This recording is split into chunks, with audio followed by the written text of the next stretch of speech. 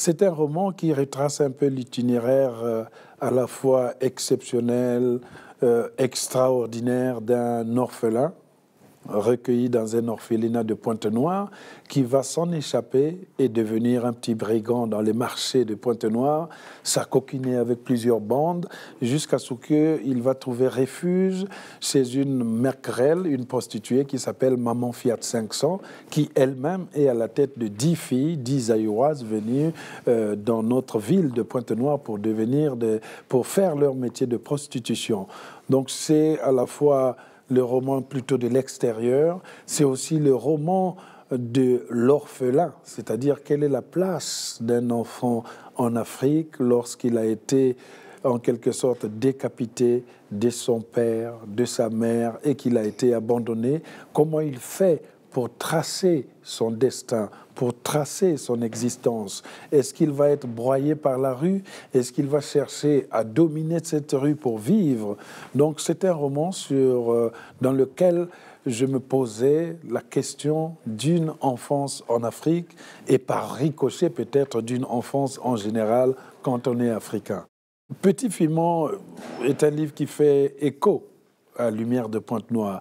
Lumière de Pointe-Noire, c'est un livre plutôt autobiographique euh, qui parlait de mes parents, qui parlait de ma famille, un livre de l'intérieur, un livre dans lequel je voulais donner à mes lecteurs, d'ici et de là-bas, un peu les clés de ma petite boîte, les clés de mon jardin d'enfance où je leur expliqué, vous voyez, si j'avais écrit Vers cassé, c'est parce qu'il y avait ça. Si j'avais écrit Mémoire de porc épic, c'est parce qu'il y avait ça. Si j'avais écrit Black Bazar, c'est parce que j'avais ça. Si vous, je vous parle souvent d'une femme qui s'appelle Kenge Pauline et qui est ma mère, c'est parce qu'elle vient de là, de là et de là.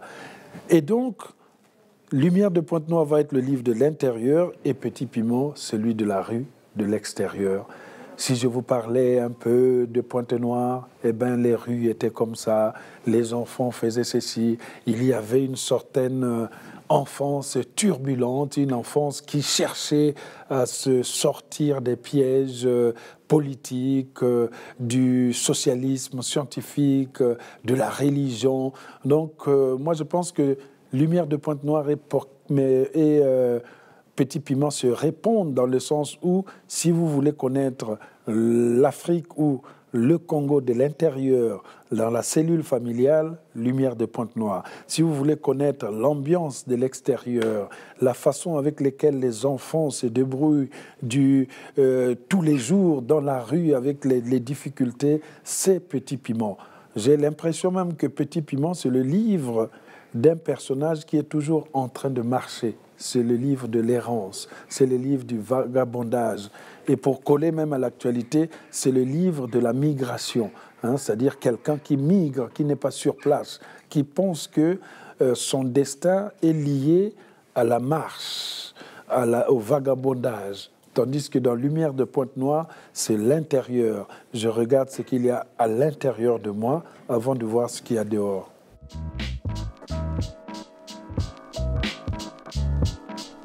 Peut-être la meilleure correspondance serait de se correspondre à soi-même pour comprendre qui nous sommes. S'écrire une lettre à soi-même, c'est le comble de la solitude, c'est-à-dire que je m'ennuie tellement qu'il faut que je m'écrive une lettre pour décrire mon ennui. Ça, j'aimerais le tenter un jour, s'écrire une belle lettre dans laquelle on réglerait les comptes avec soi-même, on mettrait ses qualités, on mettrait ses défauts, on mettrait ses limites, on mettrait ses points forts. Cher Alema Bankou, ça fait plus de 49 ans que je vous supporte. Aujourd'hui, j'ai décidé de me séparer de vous, de vous dire toute la vérité et rien que la vérité, sans cacher quelque chose que ce soit.